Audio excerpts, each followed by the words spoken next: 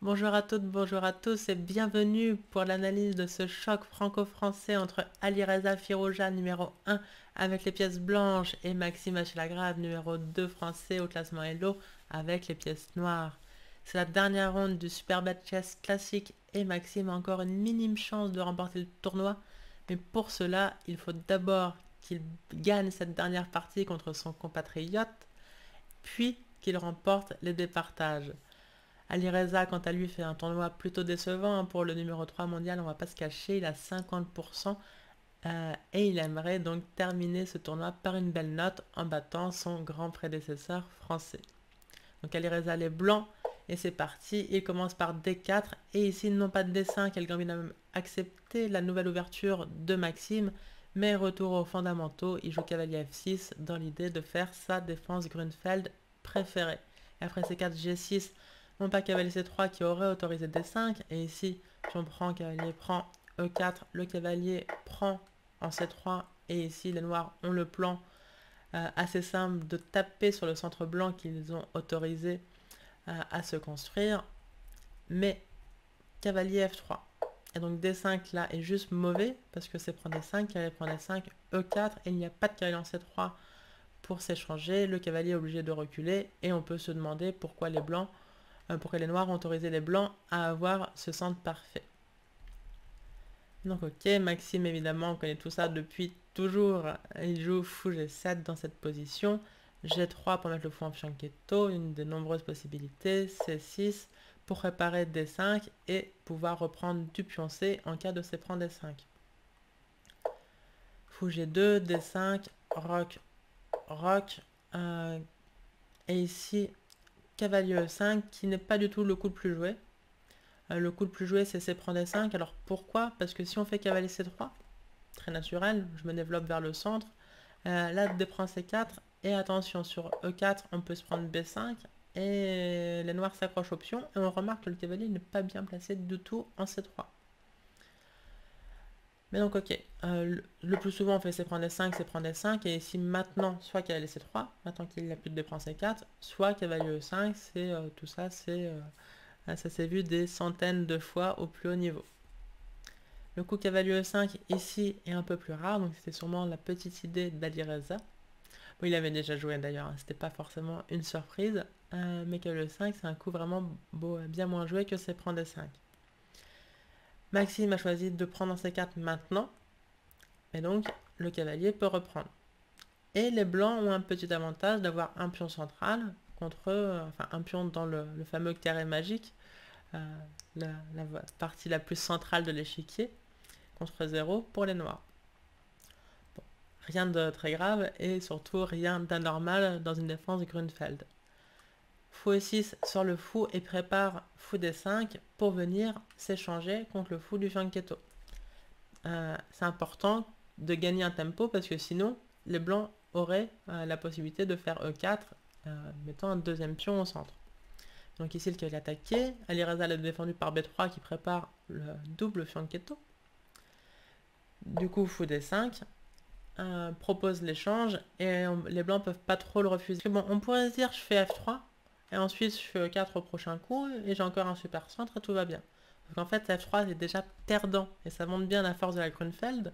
C'est que après C5, euh, le centre des blancs explose, le fou va se réveiller sur la diagonale et c'est déjà foutu de chez foutu. Par exemple, E4, on peut prendre en C4 et ici, bon, C prend ou Dame prend E4 est déjà suffisant pour, euh, pour être euh, nettement supérieur si ce n'est gagnant pour les noirs, mais cavalier prend e4, ça met tout de suite fin à la partie. En cas de f prend e4, on peut faire fou prend, on peut même faire dame prend d'abord, et euh, les blancs peuvent abandonner.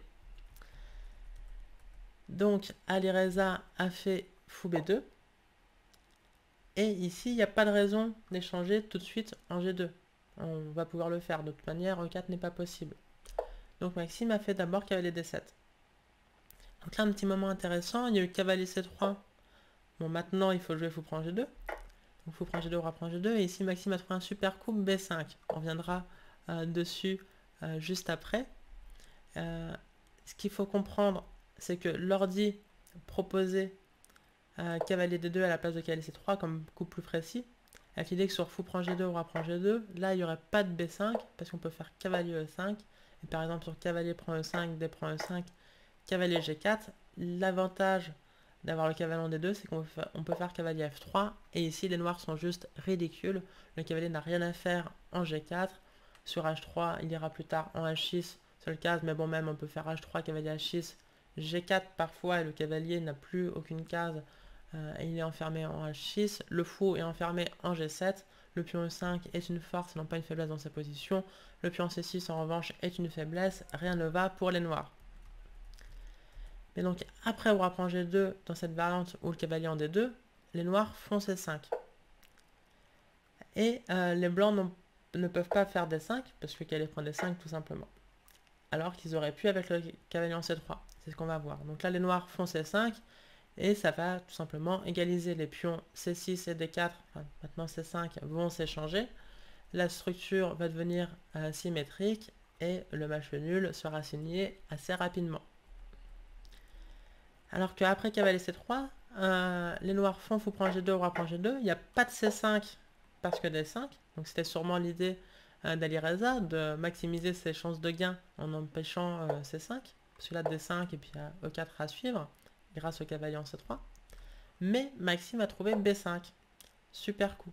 Et la différence, c'est que si on fait cavalier E5, le coup qu'on aurait envie de faire euh, pour aller vers l'avant, cavalier prend E5, D prend E5, et maintenant cavalier G4, tape sur euh, le pion E5, et on ne peut pas faire cavalier F3 comme tout à l'heure. On ne peut pas faire F4 non plus, parce qu'évidemment, cavalier E3, méga fourchette. Donc, Alireza sur B5 s'est mis à beaucoup réfléchir, sûrement à regretter un peu cavalier C3, et il a joué cavalier D2. Objectivement, tout va bien pour les blancs, la position est juste égale, mais les noirs ont égalisé tranquillement. Et ici, encore un moment intéressant. Une première ronde d'un tournoi, euh, Maxime, à coup sûr, aurait joué Dame B6, tape sur le pion D4, et après cavalier F3, C5. Pour échanger ce pion D4 central, contre ce pion C6 qui est potentiellement arriéré sur une colonne, enfin qui est sur ouverte est potentiellement très faible si les blancs commencent à pouvoir taper dessus. Donc on fait cet échange, les noirs ont égalisé, rapidement il va y avoir beaucoup de pièces qui vont s'échanger à nouveau, la structure de pion est symétrique et le match nul va être signé. Mais objectivement, euh, cette position est égale sur d'autres coups que Dame B6. Dame B6 c'est juste le coup le plus simple pour faire nul le plus rapidement possible. Donc Maxime doit prendre des risques parce qu'il veut gagner le tournoi. Comme à chaque fois qu'il participe à un tournoi, il veut essayer de, le gagner. Euh, quitte à prendre plus de risques de perte, évidemment, on n'a rien sans rien, et donc il joue E5. Pour échanger euh, le pion D4 aussi, mais cette fois-ci on obtient cette structure dissymétrique. Les noirs ont 3 pions contre 2 à l'aile dame, et les blancs 4 contre 3 à l'aile roi. Et du coup, ça, ça, met un petit déséquilibre dans la position et plus de chances de gain et donc de perte pour chaque joueur. Euh, cavalier 4 propose l'échange de dames, mais évidemment, c'est pas les noirs qui vont l'initier parce que là, ça donnerait, euh, ça donnerait la colonne D au blanc. Donc les noirs sont pas contre échanger les dames en soi, mais euh, selon leurs termes, c'est-à-dire il faut que ce soit les blancs qui l'initient. Donc il a joué cavalier G4. Et euh, pareil, Alireza aurait pu échanger, mais on n'a pas spécialement envie de donner la colonne euh, D au noir. Donc Alireza a fait cavalier prend F6. Et ici, une décision euh, qui peut paraître surprenante à première vue de, reprendre avec le cavalier en reculant. Mais en fait, c'est tout à fait normal parce que après on prend F6, juste H3. Et cavalier E5, ça va répondre cavalier E4 et on regrette d'avoir mis, euh, d'avoir recapturé avec le fou F6. Donc, cavalier prend F6, et ici, si on veut faire nul, on peut jouer juste dame prend D8, tour prend D8, on a donné la colonne D, mais alors l'espace d'un demi-coup, parce qu'on fait tour D1, on la conteste, cette colonne, et les pièces vont s'échanger, bon, et ça va faire nul. Là, il y a... si, un des deux joueurs, à ce niveau-là, envie de faire nul, que ça soit avec les blancs ou avec les noirs, et de verrouiller, il va faire nul. Euh, mais donc Alireza garde courageusement les dames. Dame C2. Dame E7. Euh, très bon coup. Pas seulement pour aller sur la colonne E, comme on va le voir euh, dans un instant. Et ici, Alireza a joué vraiment un coup que je, que je trouve très impressionnant. Alors ça paye pas de mine, hein, dit comme ça, c'est tour FE1. Donc un peu chelou. En fait, quand on comprend son raisonnement, euh, on peut être impressionné. Il n'y a aucune chance qu'en partie je joue tour FE1. Alors ce qu'il faut comprendre, c'est comme j'ai dit tout à l'heure, on a une majorité chacun de, notre côté. Les blancs à l'aile roi et les noirs à l'aile dame. Et on a envie a priori d'avancer cette majorité. Les noirs rêveraient de pouvoir faire, euh, bon, si le pion B5 est protégé évidemment, mais donc un coup comme A6, suivi de C5, suivi d'une tour en C8, suivi de C4, et puis de créer un pion passé. Ça, ça serait le rêve pour les noirs. Mais les blancs rêveraient de pouvoir faire E4, F4, E5, surtout qu'il n'y a plus de fou euh, de case blanche. Hein. S'il y avait un fou de case blanche, on pousserait pas les pions G, F et E comme ça. Ce serait un coup à se faire mater. Mais ici, on, rêverait de faire E4, E5, F4, etc. d'emmurer ce fou en G7, de prendre euh, l'espace à la roi, de se donner la case de 4 pour le cavalier. Ça peut être très vite très très grave pour les noirs. donc, E4 ici, euh, est juste une gaffe tactique. Positionnellement, c'est un bon coup, mais euh, ça perd le pion tout de suite. Après B4. Et cavalier bouge, dame prend E4. Ce qui sera un petit peu regrettable. Donc, on va préparer la poussée du pion E avec une tour. Et vu qu'on veut faire E4 puis F4 à un moment, on se dit, mais attends, je suis maline, je garde la tour à F1 et je mets la tour A en E1. Eh ouais. Sauf qu'en fait, non. Parce que sur tour AE1, Maxime aurait fait Dame C5. Clou le cavalier C3, menace B4, la Dame en C2 n'est pas protégée. Et donc ici, on ne peut pas faire E4. Et là, le meilleur coup d'après l'ordi, c'est de faire tour C1. Donc Alireza a compris tout ça. Il veut faire E4, mais il comprend que sur tour AE1, il y a Dame C5, donc il fait tour FE1.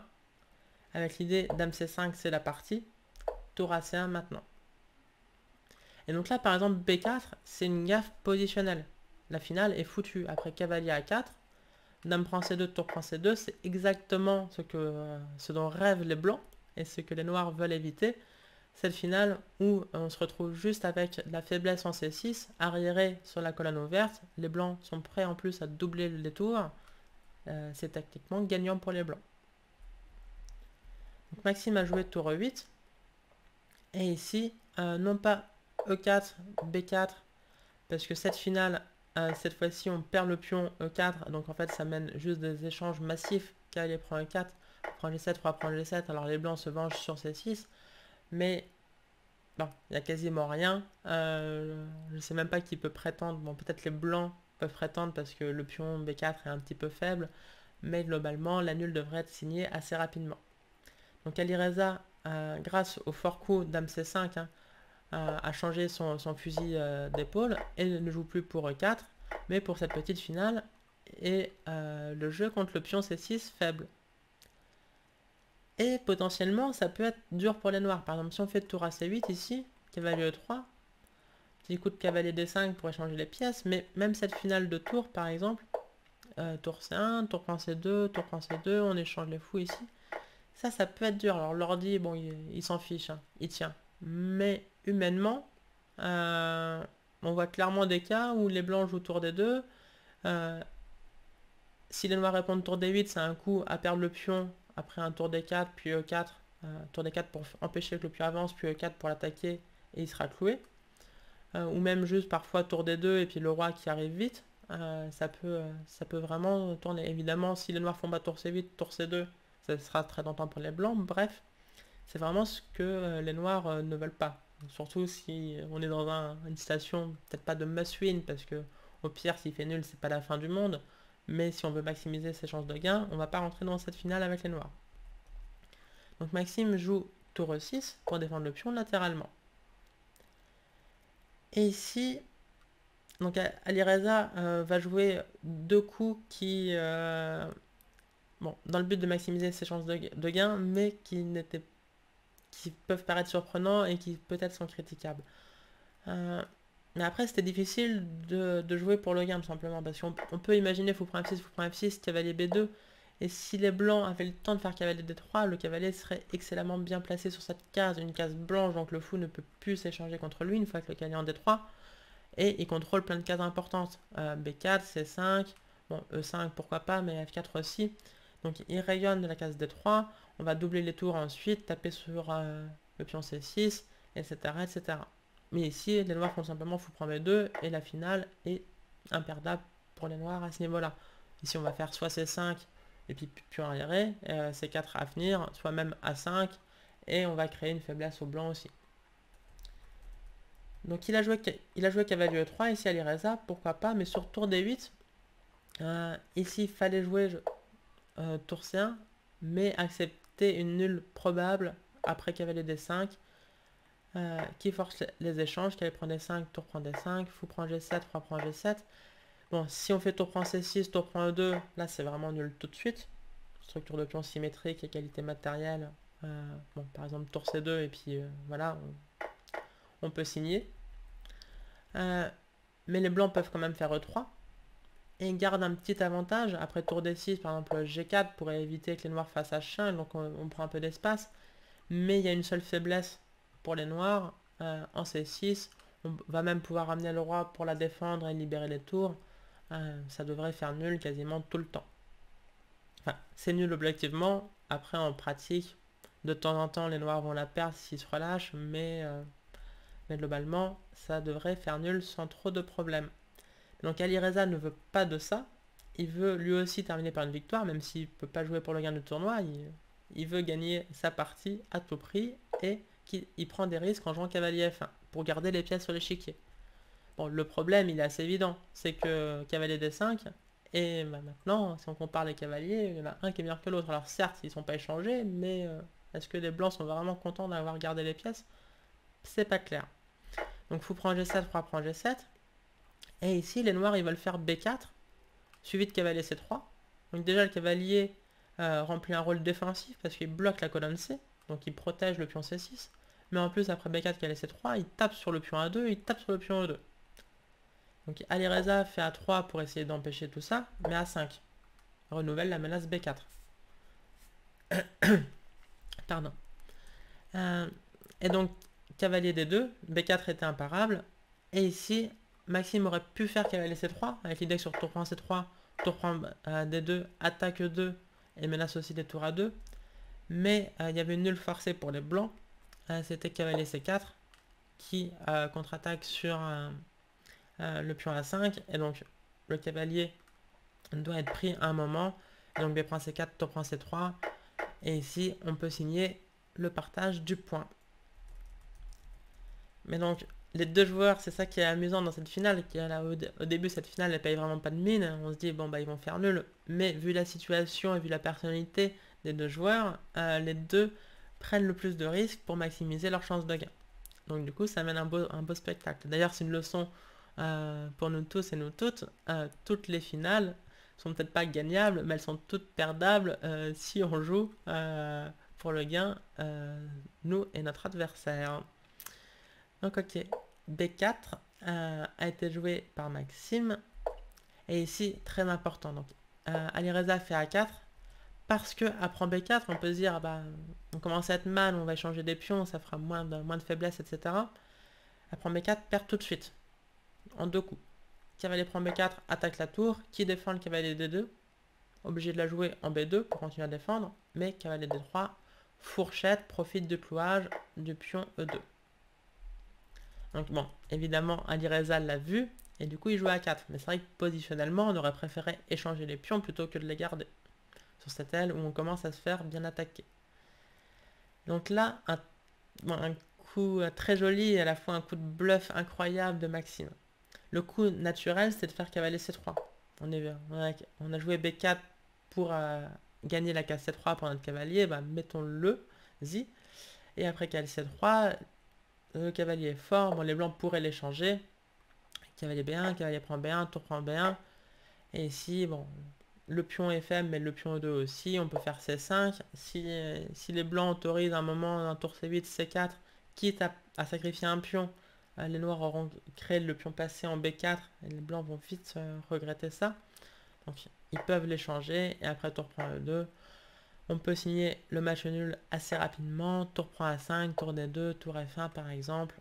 Un truc comme ça. Tour B2, tour B5, tour prend B3, etc. 5, tour A3. Hop. Et on n'en parle plus. Donc ça, c'était possible. Mais donc Maxime, il prend tous les risques. Surtout que Ali Reza commençait à manquer de temps. On est au 27e coup.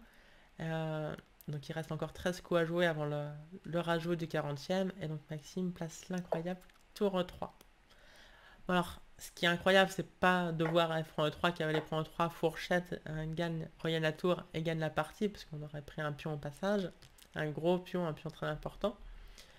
Ça, c'est pas très incroyable. Mais euh, déjà, ici, il faut voir le coup, ce qui s'est passé dans la partie. Tour prend C6. La tour euh, s'enlève de cette case de fourchette. Et on se demande pourquoi on est venu en E3. Voilà. Ici, Maxime, son idée, c'était ce qu'il a fait. C'était tour C3. Euh, attaque la tour, propose l'échange, mais sur tour prend C3, B prend C3. Les blancs ont gagné un pion, mais alors le pion est devenu passé en C3, très très fort, et les noirs ont gagné la case B4 pour leur cavalier. Donc cavalier C4, cavalier B4, la position est ultra dangereuse pour les blancs. C2 est à venir, tour D1, etc. Euh, donc sur tour C3, Alireza a joué cavalier C4, et on va y revenir. Juste, je voulais vous montrer le meilleur coup de l'ordi sur tour 3, c'était de faire tour B2 pas très naturel. Bon, on bouge la tour, du coup on attaque la tour 3. Mais pourquoi la mettre en B2 alors que le pion était déjà défendu par le cavalier euh, B3 plutôt que de prendre le pion en C6 qui était euh, en l'air? Là c'est pas très naturel. En fait l'idée c'est que sur tour C3 maintenant, les blancs ont cavalier E4 et la tour est enfermée. Le cavalier attaque la tour et contrôle la case C5.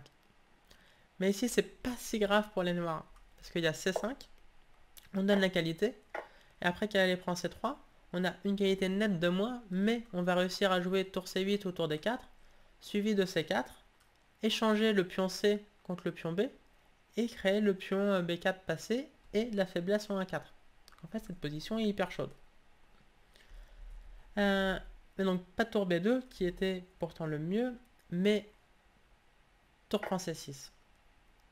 Tour C3, et ici donc cavalier C4 était joué. une petite variante mignonne. Pourquoi cavalier C4 Parce que le cavalier était en l'air euh, sur euh, la même colonne que la tour, donc ça autorisait pas mal de combinaisons. Par exemple, tour A6 pour éviter juste tour C6. Là, les noirs jouent et gagnent. Non pas cavalier E3 échec, parce que F prend E3, tour prend E3, D2, ça ferait juste match nul. Les blancs ont un pion de plus, après tout, même s'ils ont une structure pourrie, ils devraient s'en sortir. Mais le coup de cavalier qui recule, cavalier C7 et abandon. La tour et le cavalier sont attaqués et euh, les noirs gagnent. Donc ok, tour C3, cavalier C4 a été joué par Alireza. Tour prend B3, on récupère le matériel. Et ici, euh, les blancs ont l'air très mal parce qu'on se dit, pion passé protégé pour les noirs. Euh, bon, ça a l'air d'être un gros avantage. Alors que le pion en, E2, il paye pas de mine. Mais E4. Super fort coup. Sur cavalier C3, euh, pour aller à la chasse euh, au pion. Tour C7. Petit clouage, mais la tour sur la 7 rangée. Et sur cavalier prend un 4, E5. Et en fait, là, les blancs sont gagnants. Parce qu'il menace E6. Il menace aussi cavalier D6. Et derrière, c'est pas seulement une histoire de gagner un pion F7. C'est une histoire que euh, les blancs se lancent à l'attaque de mat avec d'excellentes chances de succès. Donc peu importe si les noirs ont deux pions passés liés à l'aile dame, bravo pour eux, ils vont se à l'aile roi. Donc sur E4, euh, Maxime se rend compte du danger et joue tour E8. Clouage, on prend D5, tour prend E1. Et cavalier D6, attaque la tour, qui peut pas trop bouger n'importe où parce que sinon le cavalier en l'air tour E6. Et cette tour incroyable en E6 cloue le pion E4, mais aussi le cavalier D6. Du coup, tour d'air, euh, la tour s'en va et menace le cavalier doublement. Cavalier F6, et c'est ici qu'Alireza commet son erreur, déjà décisive. La position est égale d'après l'ordinateur après le seul coup tour D4 pour protéger le pion non pas F3 qui protège le pion E4, mais permet de tourber de échec, et il n'y a pas de bon moyen de parer cet échec. Ce roi H3, tour F2 est très désagréable, et ce roi G1, le roi est coupé sur la première rangée. Euh, et c'est une très mauvaise nouvelle. On peut juste jouer tour à 2 par exemple. Et les blancs regrettent euh, d'avoir ce roi en G1. Donc, euh, tour D4 était le meilleur coup, mais Alireza fait E5. Et le problème c'est que cavalier G4, le pion E5 est doublement attaqué. On ne peut pas faire F4 comme tout à l'heure, cavalier E3, échec, fourchette. Mais donc Alireza avait tour C7, contre-attaque sur le pion F7, et sur cavalier E5 qui prend le pion et défend. F4, attaque le cavalier qui défend le pion euh, F7. Donc si cavalier bouge, on prend en F7 et tout va bien pour les blancs. Mais ici, peut-être le coup qu'Alireza a raté en jouant E5, l'excellent tour D3. Attaque à la tour D1, attaque le cavalier D6, et du coup force tour prend D3, et après cavalier prend D3. Les blancs gagnent quand même le pion F7, mais alors déjà, tour prend F7 est important parce que cavalier prend F7 avec des idées de découverte, ce serait pas idiot en soi, il y a égalité matérielle, on menace des choses avec les blancs. Mais après roi F8, on se rend compte que ce cavalier est plutôt mal placé et ce pion surtout euh, est très fort. B3, B2, ce sont des grosses menaces. Par exemple, si on fait cavalier G5, euh, menace le pion H7, menace sa tour évidemment, tout ça ça paraît très bien, mais tour B6 et les blancs peuvent abandonner, B3, B2, B1 va venir tout simplement.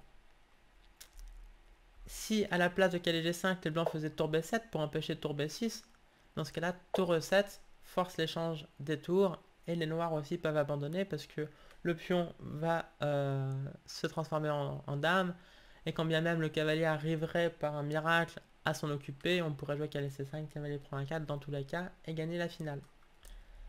Donc cavalier prend F7 perdrait. Donc là, Alireza est vraiment sur la corde raide. Il trouve encore les seuls coups pour continuer le combat. Tour prend F7, échec. roi G8.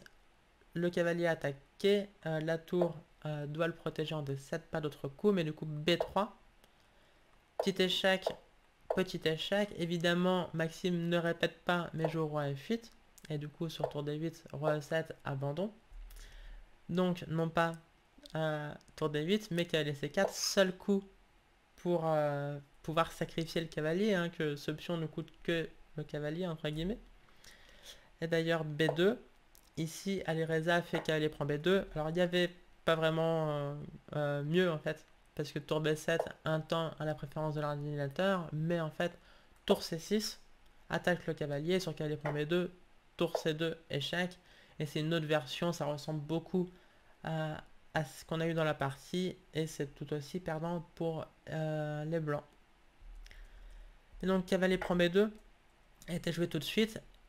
Et donc cavalier prend B2, évidemment, les noirs, une pièce de plus. Alors peut-être l'idée d'Alireza de loin était de faire tour prend un 7 avec l'idée que sur cavalier prend un 4, euh, tour à 7, et petit miracle, euh, les blancs attaquent à 5 et les noirs ne peuvent pas le protéger donc ça, ça ferait match nul. Parce que bon, bah, du coup, on peut pas protéger le pion. Donner un échec qui sert à rien. Donc il y avait les B6, le pion est perdu. Et cette finale, euh, avec trois pions contre un seul pour, euh, pour les noirs, c'est match nul. Le problème, c'est que sur tour prend un 7, on fait pas qu'aller prendre un 4. On le fait pas tout de suite en tout cas. On fait d'abord tour à 6, empêche tour à 7, seul coup pour gagner tour à 6, très joli. Et cavalier prend un 4 est imparable au prochain coup. Ok, mais du coup, Alireza se rend compte, il joue pas tour prend un chat, il joue tour à 7 tout de suite. Mais c'est la même sans le pion, enfin, avec encore le pion H7 pour les noirs. Donc en fait, c'est pas du tout la même. Cavalier B6, et donc là, à noter, ça, ça peut être instructif, cette finale est gagnante pour les noirs. On va peut-être pas la gagner tout le temps en pratique, euh, mais objectivement, d'un point de vue scientifique, du point de vue ordinateur, elle est gagnante. En revanche, si c'était un fou euh, à la place d'un cavalier, ce serait très sûrement match nul. Quelle est la différence? Bah, Tout simplement, tout le jeu va se passer sur une, seule aile maintenant.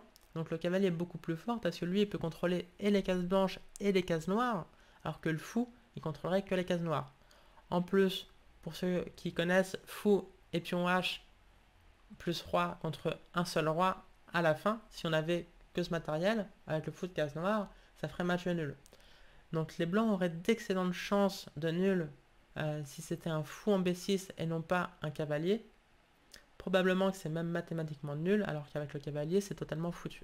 Voilà. Un petit, un petit exemple instructif, euh, je pense, sur les différences entre fou et cavalier. Alors là, le seul espoir pour les blancs, c'est d'échanger tous les pions. Si on pouvait échanger les trois pions blancs contre les deux pions noirs, on obtiendrait roi tour contre roi tour cavalier, ce qui est un match nul théorique relativement facile, et même très facile à ce, niveau. Bien plus facile que roi tour contre roi tour fou. Donc G4 prépare des échanges. Donc Maxime a joué cavalier D7 avec l'idée de répondre à F5 par tour E5. Et si on échange tout, même cavalier prend G6 il reste plus qu'au noir un seul pion en hachette, mais c'est bien gagnant. Je vais vérifier et sûrement que Maxime le savait ou l'a compris pendant la partie. Donc il n'y a pas eu euh, F5.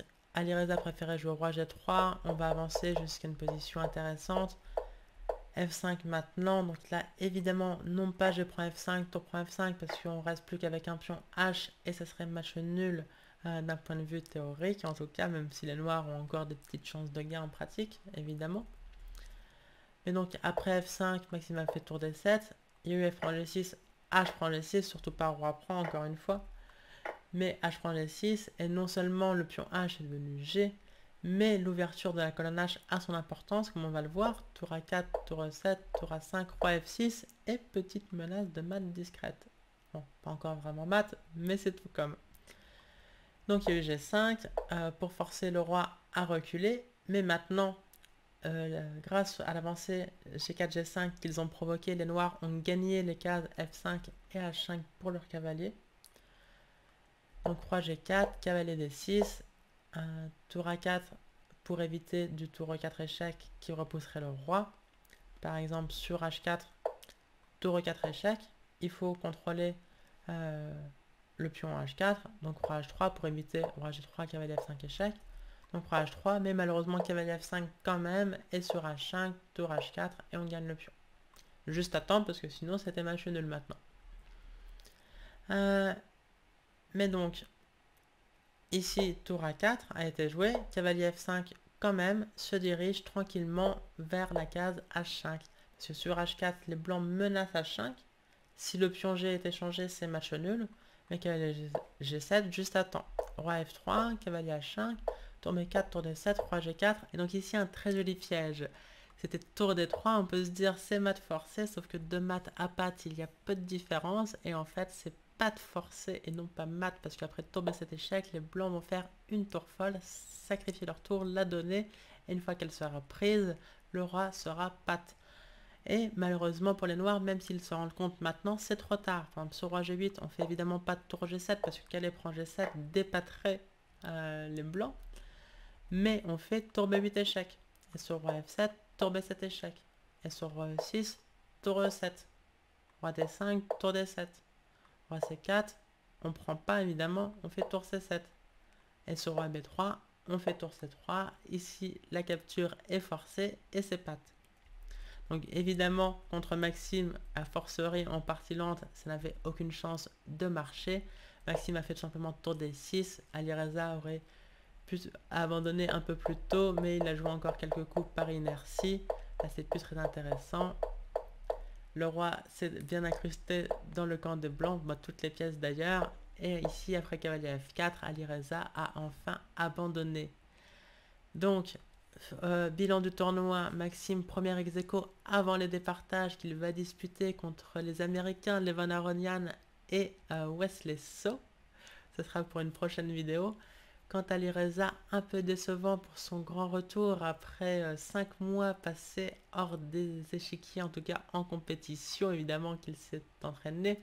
Il a montré quand même d'excellentes qualités avec d'innombrables positions gagnantes, mais des petits gâchis euh, rien de très grave en tout cas avant le tournoi des candidats qui est l'échéance à venir pour euh, le numéro 1 français qu'il abordera en position de favori à mon sens en tout cas.